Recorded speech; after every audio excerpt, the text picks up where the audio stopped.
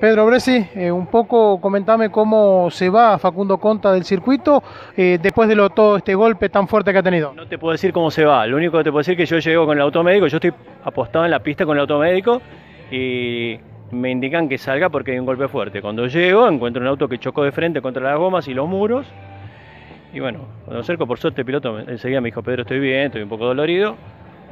Eh, no perdí el conocimiento en ningún momento este, así que bueno, lo sacamos, lo trajimos acá, lo estabilizamos, o sea, hicimos todas las medidas y ahora lo trasladamos a un centro de complejidad que tenga imágenes, resonancia magnética, ecografía, todas esas, todo el tipo de imágenes que se hacen eh, para una situación así. Pedro, eh, ¿qué dolores presentaba o te decía él después producto de la fuerte desaceleración? Le dolía hasta el cabello. Pedro, y ahora eh, pensando en los eh, eh, análisis previos que se le pueden hacer, ¿puede quedar internado producto de la observación? Sí, sí, tranquilamente. Tiene, tiene muchas posibilidades de quedar internado de observación.